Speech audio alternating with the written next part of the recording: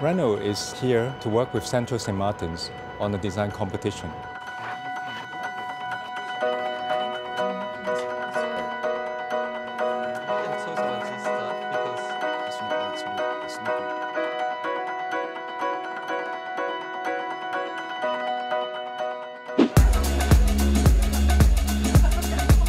I'm feeling okay. I'm a bit nervous.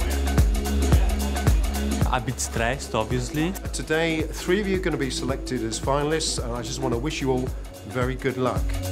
We were really trying to go for this sort of zen type atmosphere.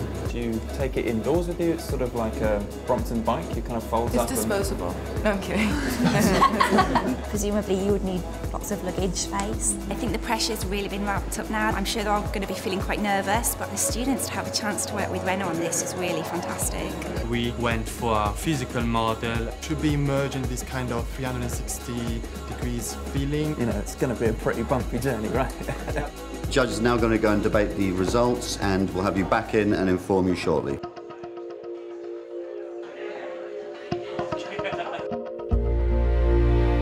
Very cool, huh? We're off to a good start with that one. It was a great video. I like, like the concept. This has a strong, strong, strong potential.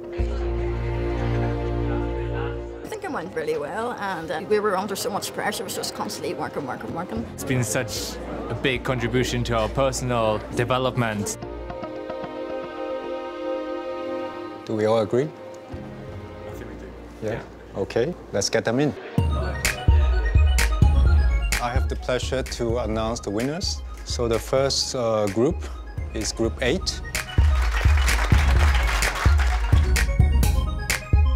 The second group is Group 3.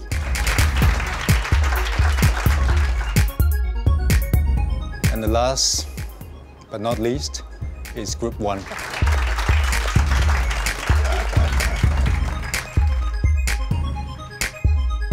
The feeling was like, are we group eight? Yeah. And we was like, yeah, we are. We should stand up. Yeah. We're excited, and yeah, I'm proud of us. The opportunity to work with uh, this kind of, of brand, which is Renault, is amazing.